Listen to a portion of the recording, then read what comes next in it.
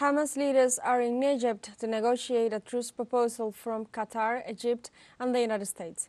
In this context, the Palestinians are pressing Hamas to demand a ceasefire and to allow them to return to their homes in Gaza. Our Telesur correspondent Noor Harazeen with the details.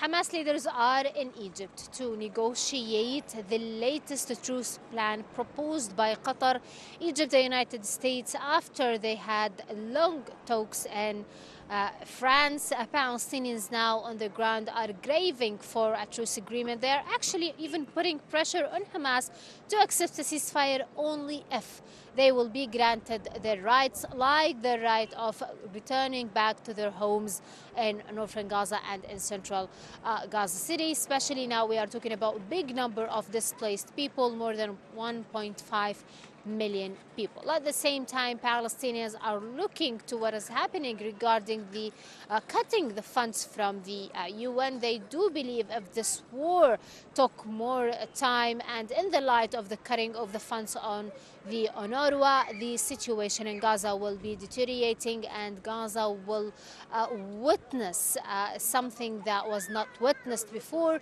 It's worst human humanitarian crisis where people will uh, killed and will die because of the lack of food, water, cold, there is no medicine. So even though we are reporting these cases while now the UN, the UNRWA is fully operating, what could happen if the funds cut on the UNRWA.